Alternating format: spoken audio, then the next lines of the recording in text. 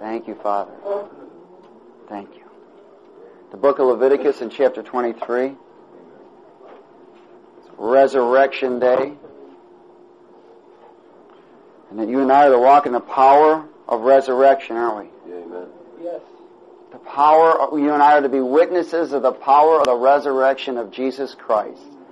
Amen. That means overcome temptation. Amen. That means taking dominion over what? Unforgiveness, bitterness, sin, lust of the eye, lust of the flesh, pride of life. All those things are part of the world. God has given me and you the power already to walk in it. He's given us the power already. He paid the price for me and you. That we didn't no longer have to look towards our back but go forward. The Word says that you and I are blessed at every spiritual blessing in heavenly places. Amen. Jesus said, I came to bring life and life more abundantly. Well, the only reason why people are not walking in abundant life is they're not walking in the Spirit. And they can't walk in resurrection power without walking in the Spirit. And the lusts and the desires of the world will pull them right out of position and eat them up. Amen? Amen.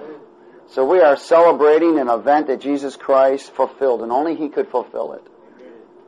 We celebrate it every year, but you and I celebrate it every moment of our living day. It's not a one day event. It's in every breath. Is everybody with me? Amen. Amen. We don't celebrate His birth one day a year. We celebrate it every day. We thank God for everything. We thank God for His death, His resurrection. We thank Him for everything that He has done. He is the Lord of the Sabbath. Only Jesus could fulfill. Everything in the Old Testament was a shadow of things to come. Amen? It was prophesied. And you and I are in a specific time that is awesome. It's awesome. Because we're going to see resurrection power even greater than we've ever seen before. It is a move of God. It is going to be so tremendous. But this move of God is first, the blood always goes first. Those who are not repentant will be moved out of the way. Those who are not right with God will be removed out of the way. So that the Spirit of God can go through. Let me tell you, churches pray for revival. They wonder why they lose half their people before revival comes. Because God knows what's going on behind closed doors. He might not reveal it to us, but He gives people opportunity to repent. Amen. But before He can pour out His Spirit, that's why the Bible says judgment comes first in the house of God. It comes first in the house of God. And the Lord sees all and knows all.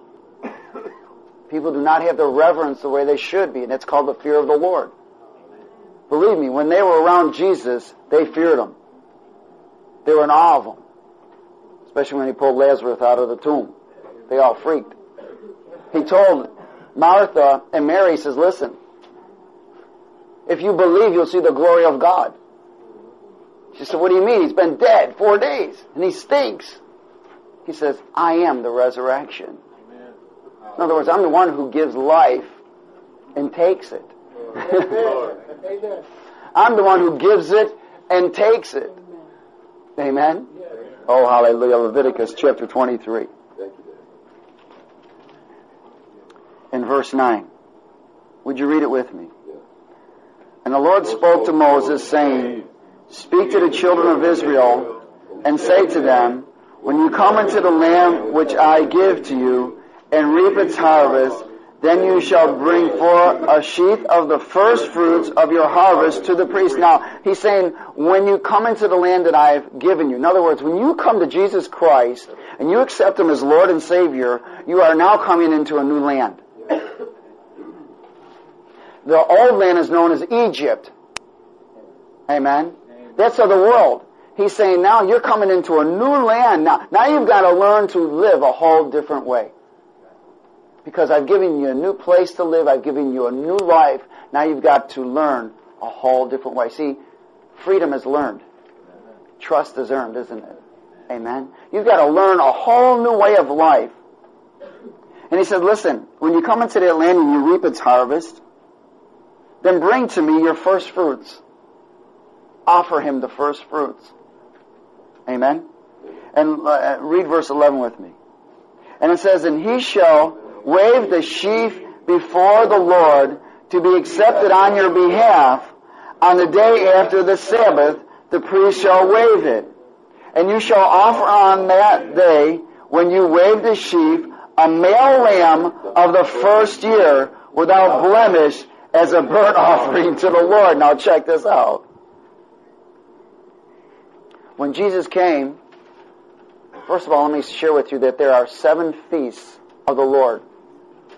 The number seven means complete and perfect. There are seven feasts of the Lord. The first feast is called Passover, and the Jews still, celebrate it. The second feast is called Unleavened. The third feast is called First Fruits. The fourth feast is, feast is called Pentecost. Amen. I'm going to share just a couple of these feasts right away. So the first feast is what? Passover. Then what? Unleavened.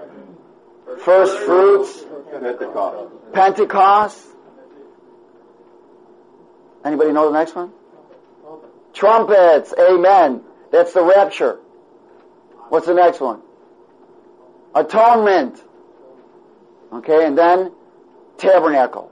So those seven feasts only Jesus could fulfill. They celebrated them in the Old Testament, but in the New Testament, only Jesus could fulfill. And that's why he said he came to fulfill the law. Now, he also fulfilled the Sabbath.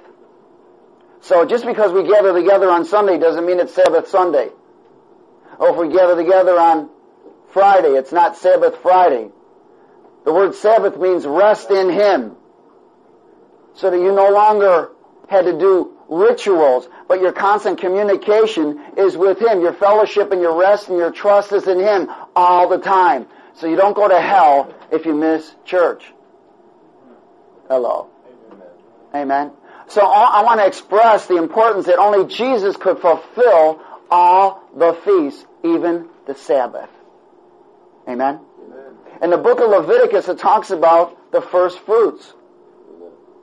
Now, the first feast is Passover. Now, we know Jesus paid the price for that, didn't he? That was death on the cross. The second feast is the Feast of Unleavened. That's when he descended into hell and kicked butt on the devil. Because leaven means evil. And then he rose. And on that third day he rose. That's called first fruits or resurrection. Or what people call Easter. Now, I'm not going to get into all, in all the rituals. I'm going to stay right to the point to where the meat is at. Amen?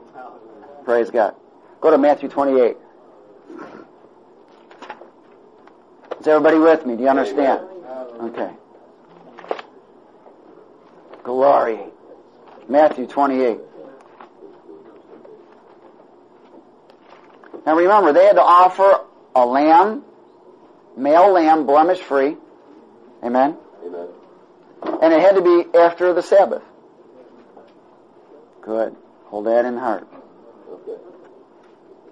Matthew 28.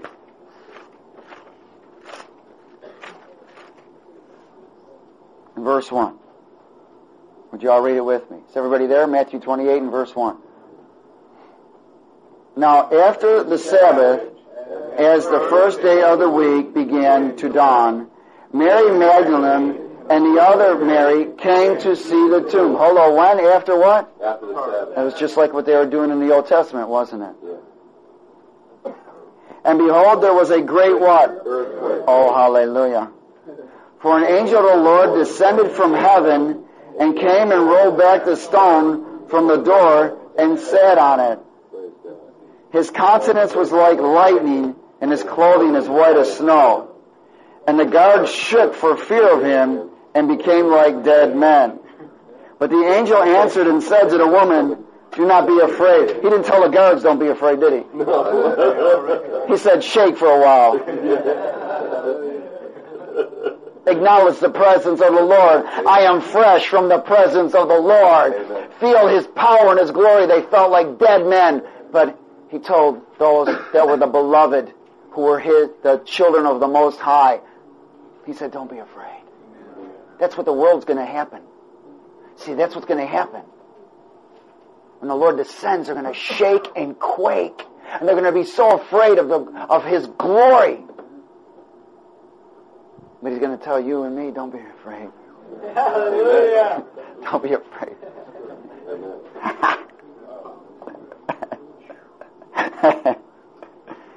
but the angel said to the woman, Do not be afraid, for I know that you seek Jesus who was crucified. See, those who don't seek Jesus are going to be shaken in their boots if they have any on. And verse 6 He is not. says, He is not here, for He is risen, as He said. Come, see the place where the Lord lay. And quickly, and go quickly and tell His disciples that He is risen from the dead. And indeed, He is going before you into Galilee. There you will see Him. And behold, I have told you. And so they went out quickly from the tomb with fear and great joy. Now that was reverence Amen. not the shaken. It was reverence fear. And they ran to bring his disciples Word. the word. And as they went to tell his disciples, behold, Jesus met them saying, Rejoice!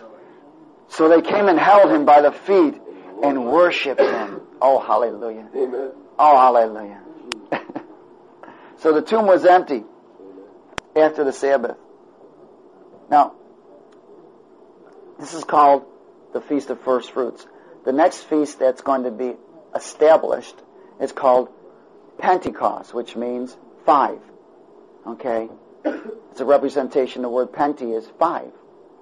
So we know that from the day of the resurrection of Jesus Christ, 50 days after that, he poured out the Holy Spirit. That's called Pentecost. Now we know that that has been fulfilled already, hasn't it? Now the next event is called the Feast of Trumpets, and that's where you and I get a glorified body. Hallelujah. We sure could use one. Yes. go to Matthew, go back a little bit, Matthew 27. So they went, they noticed that the tomb was empty, the angel rolled it back, and there was an earthquake, and all those unbelievers shook, and the believers that were there, they referenced. And in Matthew 27 and verse 50, I want to go back to the beginning and how this originated, because the first feast that had to be fulfilled is called Passover. Passover, unleavened, and first fruits. See, if you do not understand Passover and unleavened, you will not understand first fruits. These are all feasts of the Lord that must be fulfilled. It is important because it's a matter of your walk with the Lord. He said, My people are destroyed for lack of knowledge. You know, people are just walking around, well, Jesus is my Lord and Savior. They have no idea that it's much more in depth than Jesus is my Lord and my Savior. Because He's my everything. When you understand what He's done for you, then you understand who you are. In Matthew 27 and verse 50, Jesus was on the cross accepting the sins of man, and Jesus cried out again with a loud voice and yielded up his spirit. He died. Then behold, the veil of the temple was torn in two from top to bottom. This was in the temple. And the earth quaked. Here we get another quake. Every time Jesus moves, there's a quake. And the rocks were split. And the graves were open. Hello? The graves were open. Now listen, when he hit that earth, he died from the cross. When his spirit hit that earth, the graves are open. Every, nothing can contain. You're talking about resurrection life that just went into the earth. All the graves that were around it opened up. Boom! The earthquake. The rock split. He went right into the earth and went right after the devil. Every, all those around that area, the graves opened up. And the graves were open, and many of the bodies of the saints who had fallen asleep were raised. So you can see all of these graves opened up. All these bodies were hanging out all over. That says it right there, right? Amen. Amen. Now, they didn't get up and walk. They laid there for a few days. Watch in verse 53. And then it says, and coming out of the graves after what? His resurrection. So when he went in, the graves opened up, they laid there. When he rose, they rose. It says after his resurrection, everybody got to see death come back to life. Everyone in here has been resurrection who's received Jesus Christ as Lord and Savior. Because you were dead. You were walking dead. Oh, hallelujah. And coming out of the graves after his resurrection, they went into the city, the holy city, and appeared to many. so when the centurion and those with him who were guarding Jesus saw the earthquake and the things that had happened, they feared greatly, saying, Truly, this was the Son of God. A little too late. Hopefully they repented. Amen. So I want you to understand something first. The blood always goes before the Spirit. Remember, he had to die on the cross. That shed blood had to be manifested. That's why God grants me and you repentance. He grants us repentance. So those who are living in fornication, those who are involved in ungodly deeds, God gives an opportunity to repent. Now the word repent means to turn away. Listen, it doesn't mean that you're not going to be tempted. Everybody gets tempted. I don't care whether you're a man, a woman, bisexual, homosexual. Everybody gets tempted. You still have dominion to say no. Amen. Amen? You still have the power to say no. Amen. Everybody has the power of resurrection, Jesus Christ, if you're His Son, to say no to every temptation. I don't care if you're a drug addict, an alcoholic, a gambler. It doesn't matter. You still have the power in Christ to say no. Now, if you're walking in the Spirit. Because if the devil can move you out of the Spirit, you have no power. No power. Oh, hallelujah. There's something that this whole process began with. Jesus did not die on the cross. He died in the garden. Amen? He physically died on the cross, but he truly died in the garden, or else he would have never made it to the cross. Because, see, if it was me and you going to be killed for that, we might have ran. he had to die to himself first. Only dying to self allows resurrection power. Is everybody with me? This is where he said, and go to Matthew 16.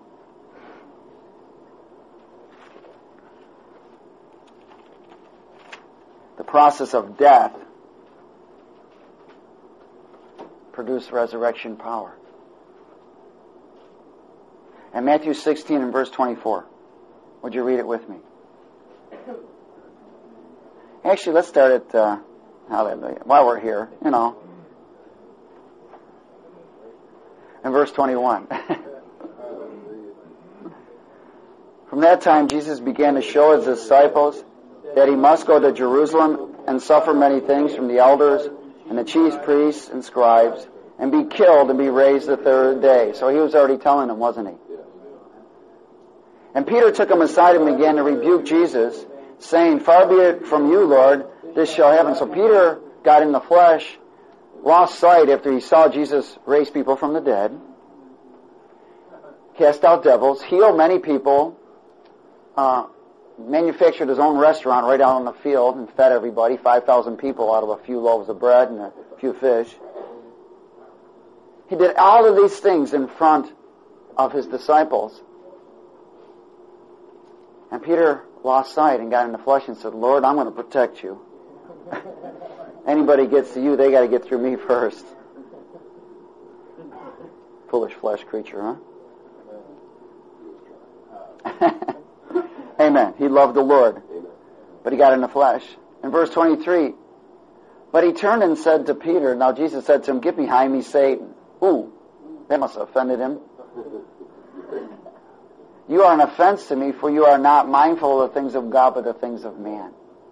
See, he didn't get the full picture, did he? He didn't get the revelation of the purpose of Jesus had to die. He was trying to interfere with the will of God. Oh, the devil loves to interfere with the will of God. That's why Jesus rebuked Satan, not Peter. Amen? Let me tell you, Satan's trying to interfere with the will of God in your life. But God has given you resurrection power to say no and to walk upright. Amen. I claim that. You know, I hear of all sorts of stuff going on. You know how the Holy Spirit keeps me? He always says to me, Guy, everybody must work out their own salvation. Amen. I said, Thank you, Dad. Thank you. Somebody wants to serve the devil for two days, it's up to them. But they will reap what they sowed. Hallelujah. In verse 24, and Jesus said to his disciples, If anyone desires to come after me, let him deny himself, take up his cross, and follow me. Let me tell you, that is the ultimate goal. Yes. That is everything. God came into the world. You know what his whole purpose was? To die. You know what your purpose is? To die.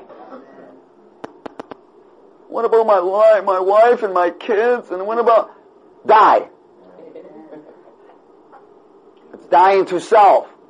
You will never fulfill and get the fullness of the perfect will of God in your life until you complete what God has you to complete and to die to yourself. Oh, the world will offer you job opportunities. The world will offer you promotion. The world will offer you fame. The world will offer you lust. The world will offer you self. Only God offers you life. Amen. Hallelujah. The world offers us death. Yes. Oh, they offer us everything. Here, do this, it feels good. if anyone desires to come after me, let him deny himself and take up his cross and follow me. For whoever desires to save his life will lose it. The devil wants you to save your life. But whoever loses his life for my sake will find it. Jesus was expressed in exactly what he had to do. He wasn't telling me and you something that he couldn't do. For what profit is it to a man if he gains the whole world and loses his own soul? or what will a man give in exchange for his soul? For the Son of Man will come in the glory of his Father with his angels, and then he will reward each one according to his works. You'll be rewarded in how much you died.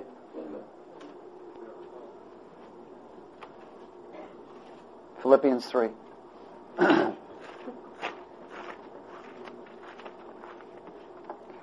Praise God.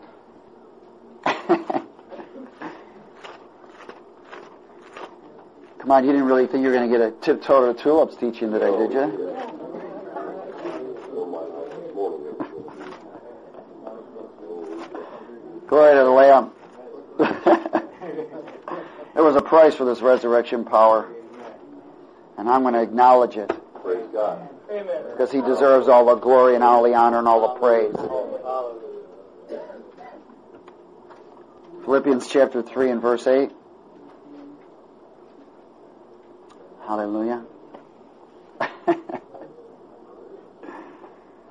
Is everybody there? Amen. Well, would you hurry up, please?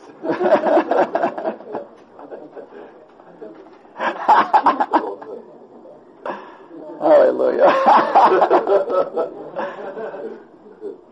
Are you there now, honey? Praise God. You're with us, aren't you?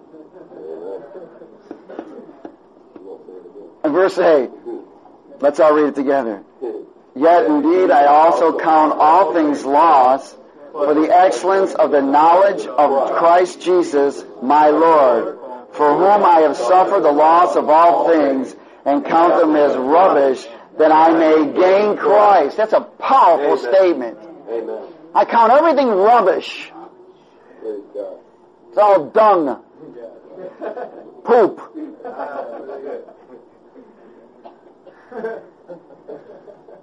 that I may gain Christ and be found in Him. Oh, hallelujah. Amen. That I may be found in Him. That Christ may, the fullness of Christ may be manifested in us.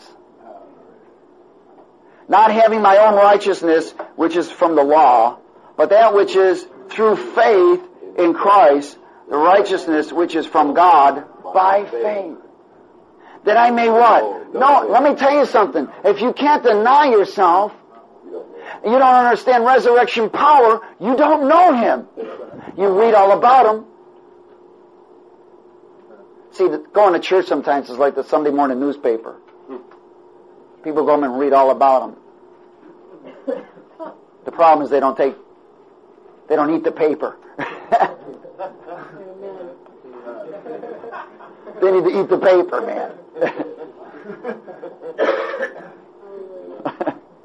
hey, the Lord showed up. He told his servant, eat the scroll, right? Right. Yeah. That's right. oh, hallelujah. That I may know him in the what? In the power of his resurrection. Glory to God. That's our ultimate goal. Your ultimate goal first must die. See, you must complete and continue on. Jesus was the Passover. He had to deny himself. He fought the powers of darkness, didn't he? That was the Feast of Unleavened. You must fight the powers of darkness. And then he was the first fruit of resurrection power. And you must walk in that power. Amen. Amen. So, because he's in you, not only did he fulfill the feast as he's fulfilling the feast, but you're walking in the fulfillment of the feast that he's fulfilled.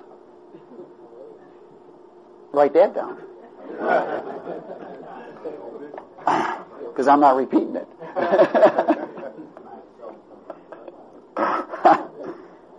oh, hallelujah. That we may be, start in verse 9 and read that with me again. That we may be found in him, not having my own righteousness, which is from the law, but that which is through faith in Christ, the righteousness which is from God by faith, that I may know him and the power of his resurrection and the fellowship of his sufferings, being conformed to his death, if by any means I may attain to the resurrection from the dead. That's powerful. That we may know his, his resurrection power. Listen, it doesn't mean that you, everything's going to be wonderful and hunky-dory. That means you're going to go through suffering. Parts of that suffering is denying yourself. That's a part of that suffering. And every circumstance, every situation, every decision that you must make, you must deny yourself so that Christ can be glorified. Amen. Does everybody understand that? Amen. He's always got a way to glorify himself. Always. It may not see, seem it that way, but the end result is always that he will be glorified in everything you and I do. If that end result is not going to be him, him being glorified, then it's not God. Oh, hallelujah. Is everybody all right? Amen. Good. Now, let's go somewhere else.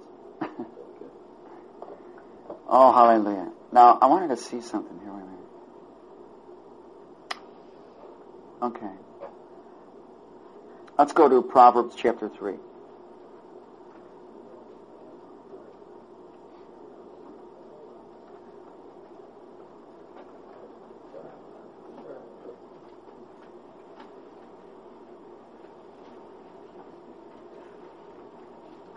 Proverbs chapter 3. Oh, hallelujah.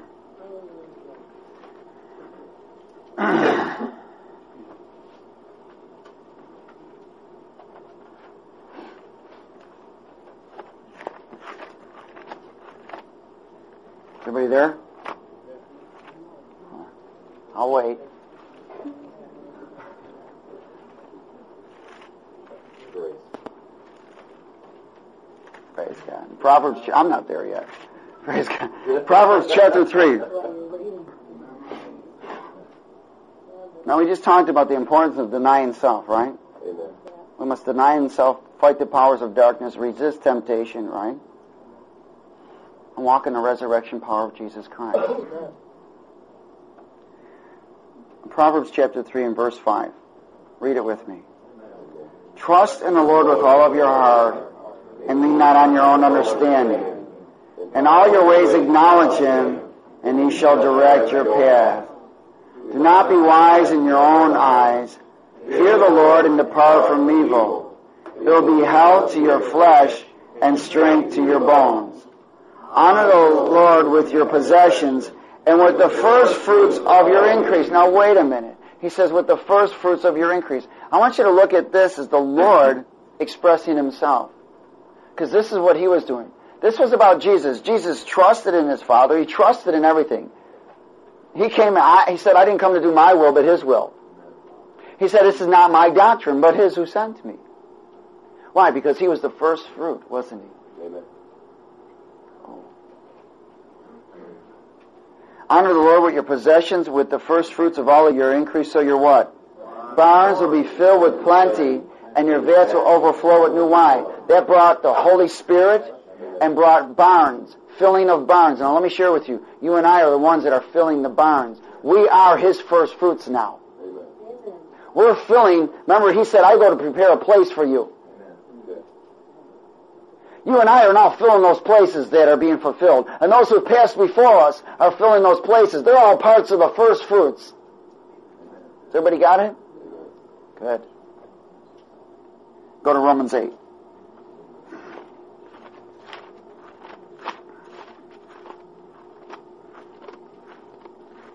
Hallelujah.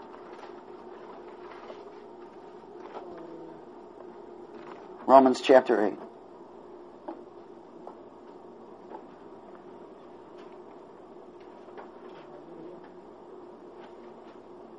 everybody there? Amen.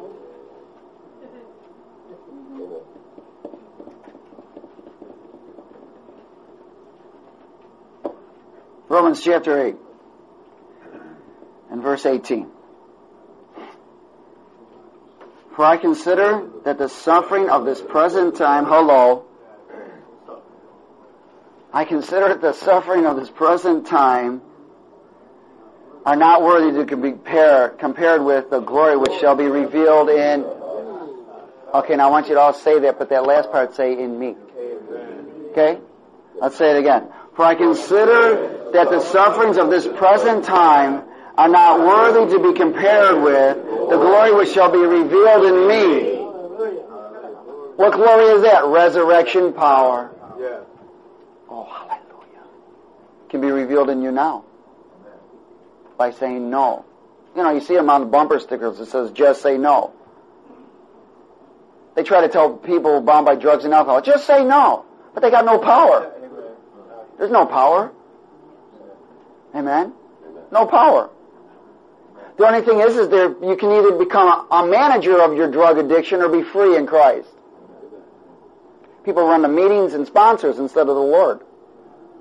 That's called management. See, if you're still struggling with something, then you're managing. Only Christ Jesus frees. Only through the blood and the resurrection power of Jesus Christ can you walk totally free. Now everybody has a choice to go back even after they're free. Amen. Because the devil's still going to tempt you. But if you're walking in the Spirit, you're going to say no. No. See, if you say yes, then you deny Christ and you exalt yourself. If you say no, you exalt Jesus and you deny yourself. Amen? Oh, hallelujah. And verse 19. For the earnest expectation of the creation eagerly waits for the revealing of the sons of God. Who's the sons of God? We are. Every, every, even creation is waiting for me and you to be revealed. For the creation was subjected to fertility, not willingly, but because of him who subjected it in whole. Because the creation itself also will be delivered from bondage of corruption and to the glorious liberty of the children of God. Even creation is bound by corruption. Ever since Satan took over, of course he only leased the place. It's only temporary. Everything is in bondage. The world is in bondage. People are bound by fear, doubt, unbelief, torment, confusion, bitterness, anger, hatred, unforgiveness, lust, addictions, pornography, and fornications. All things that fulfill the flesh. And the Word tells us that anyone who practices such things will not inherit the kingdom of God. Nor will the resurrection power be manifested in us at this point in time. Glory to God. In verse 22. For we know that the whole creation groans and labors with birth pangs together until now. Not only that, but we also who have the what? First fruits of the Spirit, even we ourselves groan within ourselves, eagerly waiting for the adoption, the redemption of our body. Now let me explain something to you. You and I are groaning for the fulfillment of our redemption. Yeah. Now listen, when Jesus rose from the dead, he rose with a new body. Now you and I have resurrection power, but we're waiting for that new body. Yes. Does everybody understand that? Yeah. So we you and I are eagerly groaning, and we're waiting, and we're fighting to stay in the presence of God until this whole fulfillment of this new glorified body comes. Amen. And it will be just like Daddy. Amen? Like Father, like children. Hallelujah. Hallelujah. So if Jesus rose from the dead with a glorified body, that's our next, that, now that's called the Feast of Trumpets. Amen. That we'll have that glorified body. Oh, hallelujah. Why? Because we're His first fruits. Does everybody understand that you're the first fruits of the resurrection of Jesus Christ? And it's continuing on. Good. Hallelujah. Go to James 1.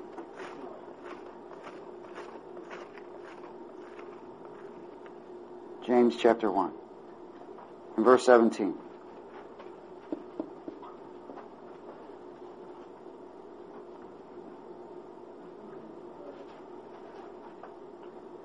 Are you there?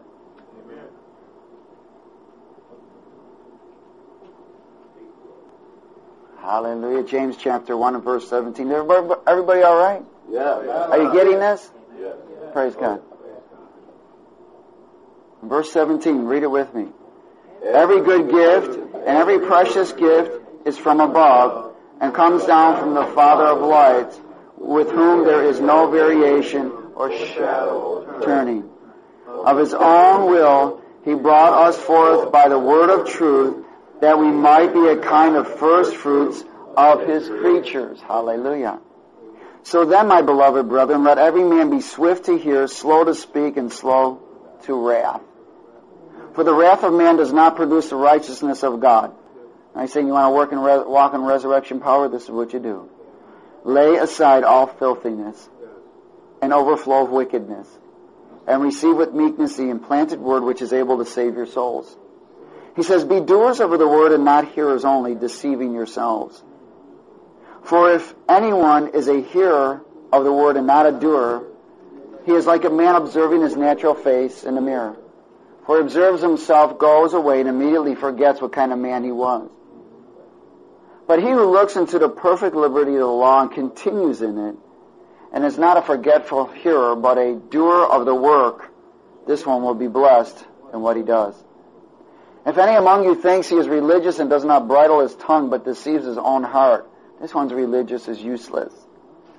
Pure and undefiled religion before God and the Father is this, to visit orphans, widows in their trouble, and to keep oneself unspotted from the world. Everyone, keep myself unspotted Unspotted from the world. from the world. That's how you walk in resurrection power. And I want to close with 1 Corinthians 15.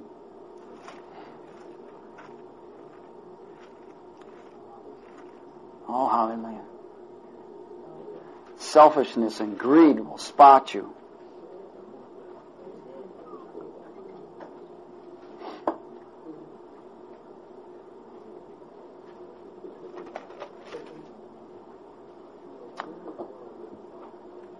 Fifteen twenty. First Corinthians fifteen twenty.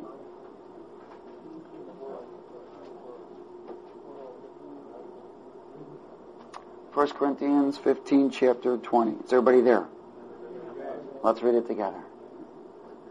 But now Christ is risen from the dead and has become the first fruits of those who have fallen asleep.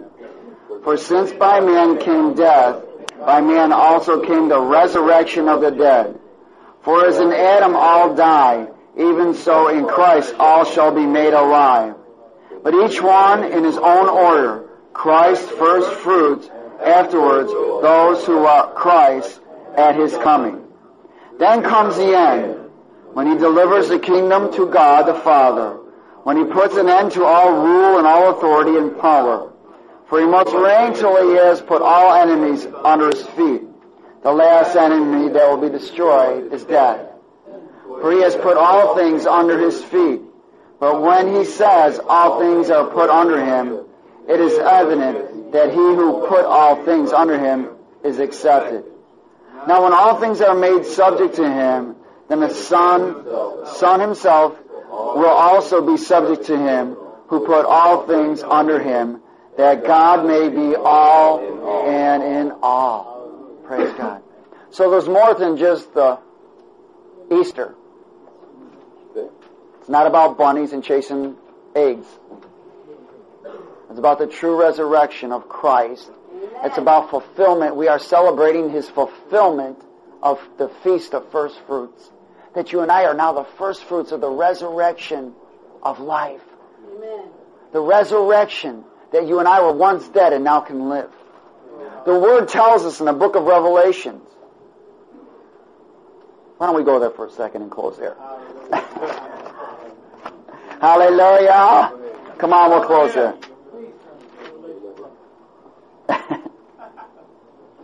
oh, praise God. In the book of Revelations, in uh, chapter 20.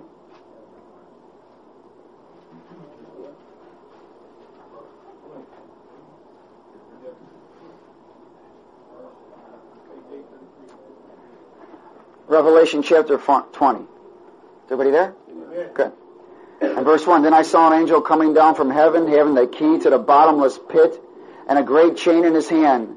He laid hold of the dragon, that serpent of old, who is the devil and Satan, and bound him for a thousand years.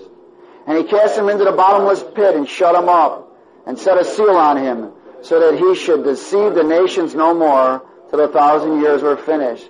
But after these things, he must be released for a while. And I saw thrones, and, and they sat on them, and judgment was committed to them. Then I saw the souls of those who had been beheaded for the witness to Jesus and the Word of God, who had not worshipped the beast or his image, and had not received his mark on his forehead, on their foreheads or on their hands. That means their thoughts and their works. And they lived and reigned with Christ for a thousand years.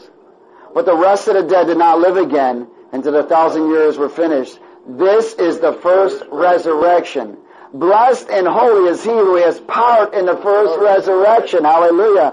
Over such the second death has no power, but they shall be priests of God and of Christ and shall reign with him a thousand years. That's you. Amen. That's you. Blessed are those who are part of the first resurrection. Blessed. Amen. Amen.